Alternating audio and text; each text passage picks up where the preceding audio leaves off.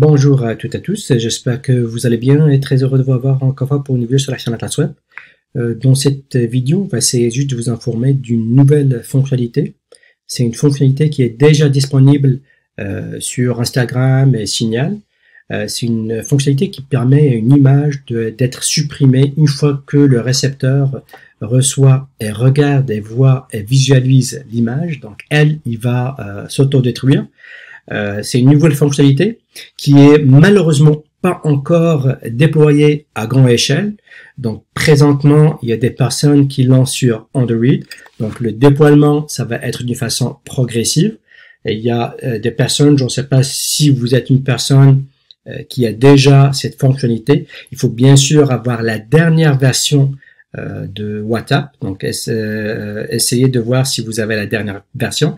Sinon, pour les personnes qui ont un téléphone iOS, il faut avoir la version euh, bêta de euh, WhatsApp, la, la 2.21.140.9, et vous serez capable d'avoir cette fonctionnalité qui permet, comme vous le voyez ici, donc une fois on, on sélectionne notre image, on, on, va cliquer sur le petit 1 ici, vous voyez, et par la suite, on aura, ça c'est du pour information, comme quoi l'image va être détruite une fois que l'autre personne va la recevoir. Donc, vous voyez, l'autre personne, une fois il va la voir, ça va s'auto-détruire. Par contre, l'autre personne, comme c'est marqué ici, donc take screenshot, donc l'autre personne peut euh, prendre une capture d'écran.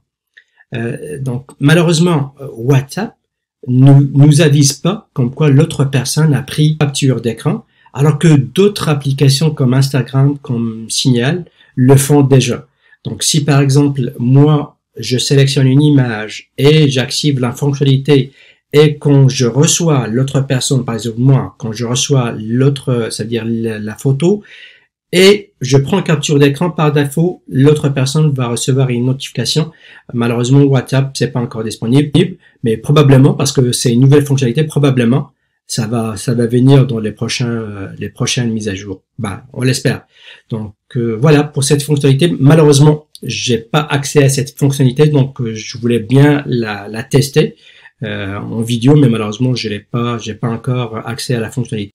Donc j'en sais pas s'il y a des, des chanceux parmi nous qui ont déjà cette fonctionnalité, ils peuvent comme l'utiliser. Donc voilà pour cette euh, petite information concernant WhatsApp. Donc euh, voilà. Euh, il me reste juste à souhaiter une excellente journée. À la prochaine.